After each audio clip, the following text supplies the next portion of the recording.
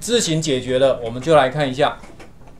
你看简报有没有需要用到一些所谓的插图或者动画？有，对不对？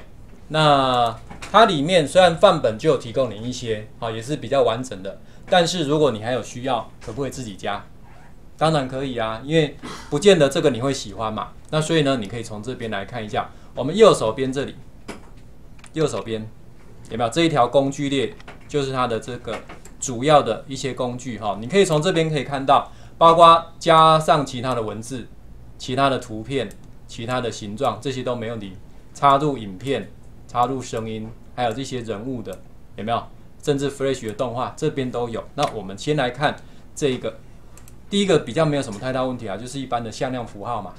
好，向量的一些符号。那么你找找这边，只要点它一下就好了。比如说，哎，我需要一个箭头，点它一下，你就看一下你的箭头要从哪里到哪里，有没有这样就出来了？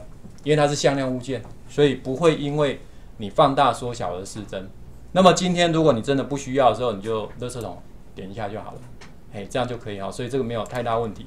那我们来看的是这个第二个，第二个它也有提提供很多的所谓的图库的部分，而且呢，它还给你什么，帮你做好分门别类，有没有？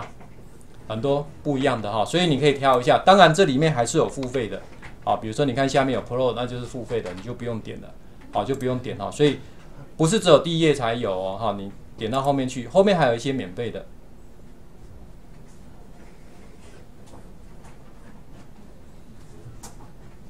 有没有？后面还有一些免费的，好，它就是比较偏下的哈，比较偏下或比较后面的页面才有那个，就全部都是付费的，所以你可以稍稍微找看看。那这些都有个好处，就是他们都是向量的，好，你点一下它就出来了，哎，出来了在这里，有没有？所以你要摆在哪里，自由决定。有没有发现放大缩小不失真？跟微软的有一个东西很像啊，美工图库啊，美工图库里面有没有很多也是属于向量的？它有点阵的没有错，但是大多数是以向量为主，所以放大缩小不失真。那你就可以在需要的时候把它拿出来，有没有都是具备好的？这样是不是在使用就比较方便哈？这是第二个好增加图片的。那么我们这边还有一个比较特殊的是在下面这里，有所谓的什么这个划过来，这应该叫做角色。你把它点一下，我们刚刚那些图片都是属于静态的，它有两种动态的，啊，一种是像 GIF 一样，另外一种是下面这个 Flash。好，你看角色，哎，我如如果喜欢这个女生的，我就把它点一下，它里面就有不同的角色的，有没有看到不同角色的？就一同一个角色，它有不同的什么动作？那比如说你要这个，对不对？点一下，看吧得哇，干不起来呢，加油哦！哎呀，这就是一个动画啊！哎，这个部分在我们 PowerPoint 就比较没有，没错吧？